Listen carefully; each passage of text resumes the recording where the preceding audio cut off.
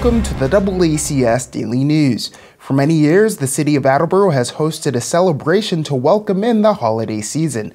Due to COVID 19, the Attleboro Parks and Forestry Department has had to change their plans for this year. To learn more, we spoke with Parks Superintendent Derek Corsi. This year, obviously, with COVID 19, um, we weren't able to plan our normal holiday traditions here in Attleboro so we weren't able to have our holiday happening parade or the event after with the Santa Claus visits and the crafts and the um, face painting. So we wanted to do something, but we wanted to do something different that would allow for social distancing.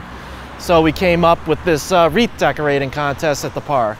So the event is called Holiday Wreath Creations here at Capron Park, and it's uh, basically a wreath decorating contest. What you do is you would come to the parks office here at 199 County Street.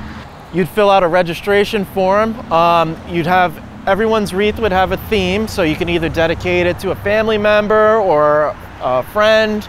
You know, advertise your business. Um, and then once you do that, you'd pick a theme for your wreath. We'll give you a blank wreath. You'd bring it back to us, and then we would display it here in the park.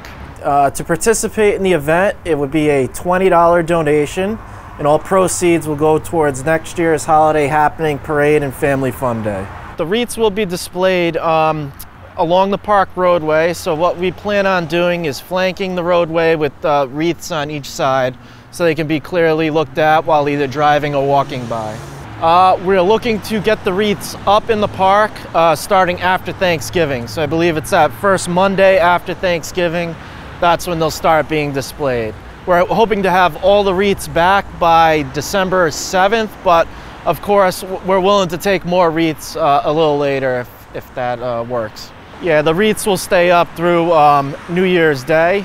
And uh, along with um, the wreaths being displayed, we're going to have a little contest. Uh, we're going to have ballots available, and people viewing the wreaths can vote on their favorites in each category. And um, the winners of each category will get a prize.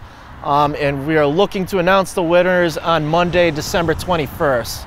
So we want to make sure that people get to view these wreaths uh, before then so they can they can vote and participate. There'll be different prizes. We'll have some gift cards to certain places. So you know, it's it's nothing um, crazy, but it's a little something for for putting the effort in.